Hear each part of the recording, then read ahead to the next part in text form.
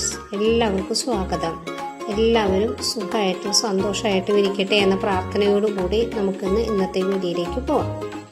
ഇന്നിവിടെ ചെയ്യാൻ പോകുന്നത് നമ്മൾ പത്തിരിയാണ്. കടയിലൊക്കെ കിട്ടുന്ന നെയ്പത്തിരി ഇല്ലേ? ആ പത്തിരി. അപ്പോൾ അതെങ്ങനെ ചെയ്യണേന്നും അതിനെന്തൊക്കെ ഇൻഗ്രീഡിയൻസാണ് വേണ്ടതെന്നും നമുക്ക് നോക്കാം. അതിന് വേണ്ടിയിട്ട് ഞാനിവിടെ എടുത്തിട്ടുള്ളത് ഒരു ഗ്ലാസ് അരിപ്പൊടി. അപ്പോൾ അത്രയും തന്നെ ഒരു അതേ അളവിലുള്ള ഒരു ഗ്ലാസ് മൈദ. അത് അത്രയാണ് മെയിൻ ഇൻഗ്രീഡിയൻസ് പിന്നെ ഒരു കാൽ ഗ്ലാസ് അല്ലെങ്കിൽ ഒരു മൂന്ന് ടേബിൾ സ്പൂൺ തേങ്ങ. ഒരു രണ്ട് നുള്ള് ജീരകം കൂട്ടി മിക്സിയിലിട്ട് ഒന്ന് ഒറ്റ അടി അടിച്ച് ക്രഷ് റിട്ടേൺ അടിച്ച് ക്രഷാക്കിയിട്ട് എടുത്തിട്ടുള്ളത്. പിന്നെ ആവശ്യത്തിന് ഉപ്പ് ഒരു ടേബിൾ സ്പൂൺ പഞ്ചസാര. അത്രയാണ്. അതിപ്പോൾ നമ്മൾ ചേർക്കില്ല നമ്മൾ വെള്ളം ഈ പൊടി വാട്ടാൻ വേണ്ടിയിട്ട് വെള്ളം തിളപ്പിക്കുമ്പോൾ അതിനകത്തേക്ക് ഇട്ട് കൊടുത്താൽ മതി. പിന്നെ ഒരു ഇത് ഇതിപ്പോൾ രണ്ടര ഗ്ലാസ് രണ്ട് ഗ്ലാസ് പൊടിയാണല്ലോ. ഒരു ഒരു ഗ്ലാസ് അരിപ്പൊടി ഒരു ഗ്ലാസ് മൈദപ്പൊടി എടുത്തേക്കുമ്പോൾ നമ്മളൊരു രണ്ടര ഗ്ലാസ് വെള്ളമാണ് ഞാനിപ്പോൾ ഈ പൊടിക്ക് എടുത്തേക്കുന്നത്. പക്ഷേ കൂടുതൽ ചില പൊടികൾക്ക് കൂടുതൽ വെള്ളം വേണ്ടി വരും. അങ്ങനെ അങ്ങനെ ഉള്ളപ്പോൾ നിങ്ങൾ അതനുസരിച്ച് മൂന്ന് ഗ്ലാസ്സോ അല്ലെങ്കിൽ രണ്ട് ഗ്ലാസ്സോ അത് അഡ്ജസ്റ്റ് ചെയ്ത് എടുത്തോളണം കേട്ടോ. ഇതിപ്പോൾ രണ്ടര ഗ്ലാസ്സാണ് എനിക്ക് പാകം. ഞാൻ നന്നായിട്ട് തിളയ്ക്കുമ്പോൾ ഇപ്പം ഞാൻ ഒരു ടീസ്പൂണ് പഞ്ചസാരയും ഒരു രണ്ട് നുള്ളു ഉപ്പും ഇട്ട് ഇട്ടിട്ടുണ്ട് കേട്ടോ. ഇനി തിളയ്ക്കുന്ന വെള്ളത്തിലേക്ക് നമ്മുടെ അരിപ്പൊടി ഇട്ടിട്ട് ഒന്ന് വാട്ടിയെടുക്കണം ആ പൊടി.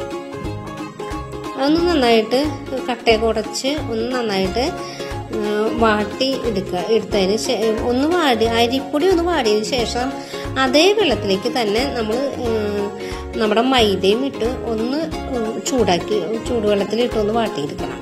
അത് തിളച്ച വെള്ളം വേണ്ട കേട്ടോ. നമ്മൾ സിമ്മിലാക്കിയിട്ട് ഇട്ടാൽ മതി.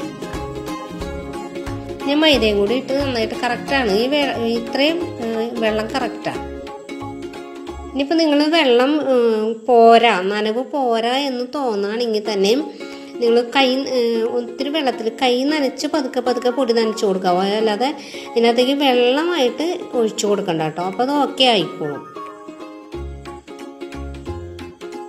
ഇനി വെള്ളത്തിൽ കൂടിപ്പോയി എന്നുണ്ടെങ്കിൽ തന്നെ ഒരു രണ്ട് ടേബിൾ സ്പൂൺ മൈദ ഇട്ട് കൊടുത്താൽ മതി. അപ്പോൾ വെള്ളം കറക്റ്റ് ചെയ്യാം. അതിപ്പോൾ ഇപ്പം തന്നെ നിങ്ങൾ നോക്കണം. ഈ ഭാഗമാണ്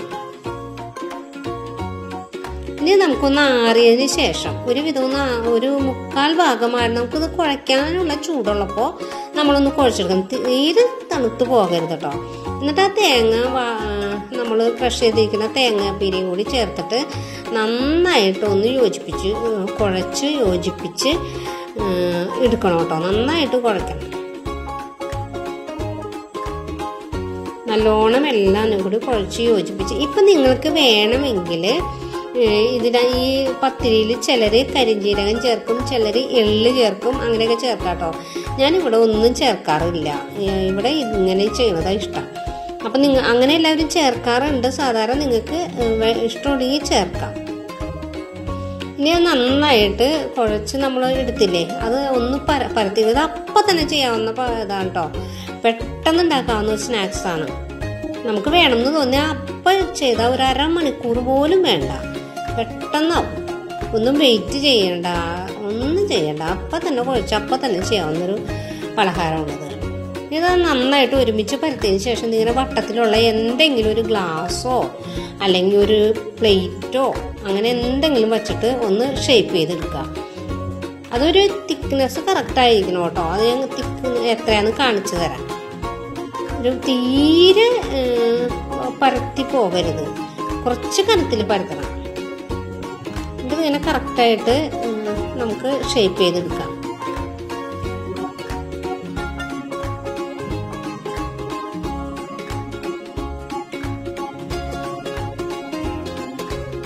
ഇതിങ്ങനെ എടുത്തതിന് ശേഷം ബാലൻസ് വന്ന പൊടി നമുക്ക് രണ്ടാമത് പരത്തി വീണ്ടും ഷേപ്പ് ചെയ്തെടുക്കാം കേട്ടോ. അതായത് ഇത്രയും തിക്നെസ് വേണം. ഈ കനത്തിൽ നമുക്ക് എടുക്കാം. ഒരു പന്ത്രണ്ട് പത്തിരിയാണ് കേട്ടോ. എനിക്ക് അത്രയും പൊടിയിൽ നിന്ന് രണ്ട് ഗ്ലാസ് പൊടിയിൽ നിന്ന് കിട്ടിയിട്ടുള്ളത് പന്ത്രണ്ട് പത്തിരി കിട്ടി. നിങ്ങൾക്ക് കൂടുതൽ വേണമെങ്കിൽ അതിനനുസരിച്ച് അളവ് കൂട്ടി എടുക്കുക കേട്ടോ.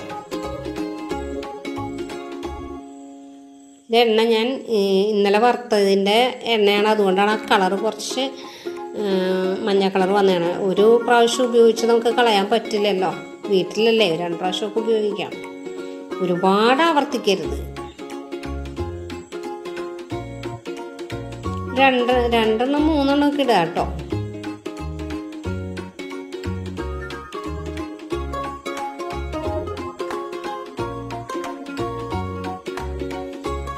തീ എപ്പോഴും സിമ്മിലായിരിക്കണം. ഹൈ വരരുത്. കാരണം വെച്ചാൽ അങ്ങനെ ആകുമ്പോൾ മേൾവശം കരിഞ്ഞു പോവുകയും ചെയ്യും. ഉള്ളു വേവുകയുമില്ല അപ്പോൾ വളരെ ചെറിയ തീയിൽ കിടന്നിട്ട് മാക്സ് ഒന്നുകിൽ സിമ്മ് അല്ലെങ്കിൽ മീഡിയം ഇട്ട് ഒട്ടും പോകരുത്. കരിഞ്ഞു പോകും ഉള്ളിൽ ഒട്ടും വേഗമില്ല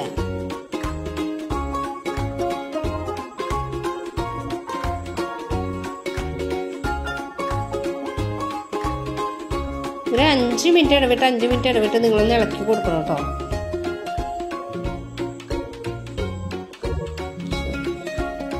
ഇളക്കിയല്ല സോറി മറിച്ചിടണം.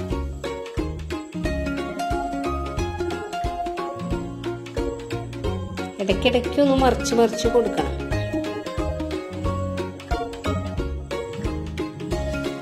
എങ്കിലേ രണ്ട് വശം ഒരുപോലെ വെന്ത് കിട്ടുള്ളൂ. അല്ലെങ്കിൽ ഒരു വശം തന്നെ കിടന്ന് വല്ലാണ്ട് ഒരു കുറച്ച് നമുക്ക് എക്സ്പീരിയൻസ് ഒക്കെ ആയിക്കഴിഞ്ഞാൽ നമുക്ക് കുറച്ച് നേരം ഇട്ടിട്ട് മറിച്ച് കൊടുത്താൽ മതി. ആദ്യമൊക്കെ ആകുമ്പോൾ ചിലപ്പോൾ ഒരു വശം നന്നായിട്ട് വെന്ത് പോകും. അല്ലെങ്കിൽ മറുവശത്ത് വേവ് കറക്റ്റ് ആവില്ല. അല്ലെങ്കിൽ മുരിഞ്ഞു പോയി കരിയും. കരിച്ചിൽ വരാം അങ്ങനെയൊക്കെ സംഭവിക്കാം. അപ്പം നമുക്കൊന്ന് ഇടയ്ക്കിടയ്ക്ക് ഒന്ന് മറിച്ചിട്ട് മറിച്ചിട്ട് കൊടുക്കാം.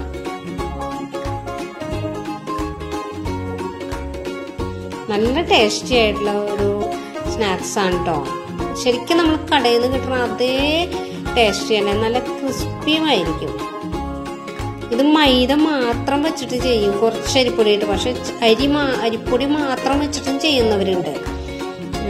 പക്ഷെ അരിപ്പൊടി മാത്രം വെച്ച് ചെയ്തപ്പോൾ എനിക്ക് ഇത്രയും ഒരു ഭയങ്കര ഹാർഡ്നെസ് തോന്നി. അപ്പം അതുകൊണ്ടാണ് ഞാൻ മൈദയും കൂടി ചേർത്ത് ചെയ്തപ്പോഴാണ് എനിക്ക് പക്കയായിട്ട് തോന്നിയത്.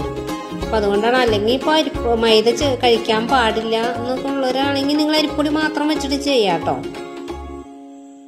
പക്ഷെ ഇത്രയും പെർഫെക്റ്റ് ആവില്ല അരിപ്പൊടി മാത്രം വെച്ച് ചെയ്യുമ്പോൾ. ഇത് ഈ പത്തിരിയാണ് ശരിക്കും ലെയർ ലെയറായിട്ടൊക്കെ നമുക്ക് കിട്ടിയത് ചെയ്തപ്പോൾ. അരി മാത്രം വെച്ച് ചെയ്തപ്പോൾ എനിക്ക് അത്രയും ഒരു പെർഫെക്റ്റ് ആയിട്ട് ആയി ആയില്ല. അതുകൊണ്ടാണ് ഞാൻ ഇങ്ങനെ മൈദ കൂട്ടിയത്. നല്ല ഇത് പക്കയാണ്. നല്ല ലെയറായിട്ട് നമ്മൾ കടയിൽ നിന്ന് വാങ്ങിക്കുന്ന പത്തിരിയുടെ അതേ ടേസ്റ്റ് അതേ സ്ട്രക്ചർ തന്നെ നമുക്ക് കിട്ടും.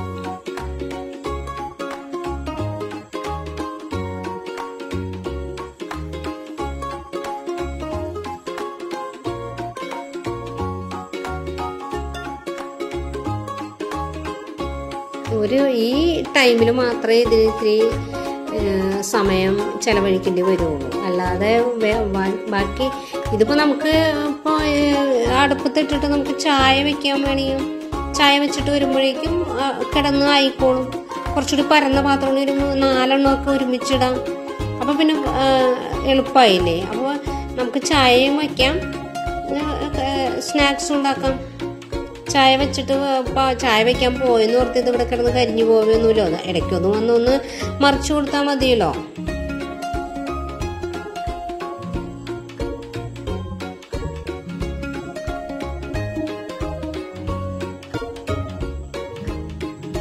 ഇടയ്ക്കൊന്ന് മീഡിയത്തിലേക്ക് ആക്കിക്കോട്ടോ. കാരണം വെച്ചാൽ എണ്ണയുടെ ചൂട് തീരെ കുറഞ്ഞു പോകണമെന്ന് തോന്നുമ്പോൾ നിങ്ങൾക്കൊന്ന് ഫ്ലെയിം ജസ്റ്റ് ഒന്ന് കൂട്ടി ഒരു മീഡിയത്തിലേക്ക് ആക്കിയിട്ട് പിന്നെയും സിമ്മിലേക്ക് ആക്കിയാൽ മതി. ശരിക്കും ഒരു പത്ത് മിനിറ്റെങ്കിലും എടുക്കും. ഇത് ആയി വരാനായിട്ട്. ഒരു ഒരു പ്രാവശ്യം ഇടണത് ഒരു പത്ത് മിനിറ്റെങ്കിലും എടുക്കും കറക്റ്റ് ആവാൻ വേണ്ടിയിട്ട്. ഈ പാകമാകുമ്പോൾ നമുക്ക് മാറ്റാം. രണ്ട് വശവും ഒരുപോലെയായി ഇത്രയായാൽ ഈ പാകമാകുമ്പോൾ നമുക്ക് മാറ്റിയിട്ട് അടുത്തത് ഇടാം. ഇതിപ്പോൾ നിങ്ങളെ കാണിക്കാൻ വേണ്ടി രണ്ട് റൂട്ടൊന്നും ഉള്ളൂ. അല്ലെങ്കിൽ ഇപ്പോൾ നമുക്കൊരു മൂന്നെണ്ണം വരെ ഇടായിരുന്നു. പക്ഷേ ഇത് ചിലപ്പോൾ അതൊന്ന് വെളിച്ചെണ്ണയിൽ കിടന്നൊന്ന് വീർത്തു വരും.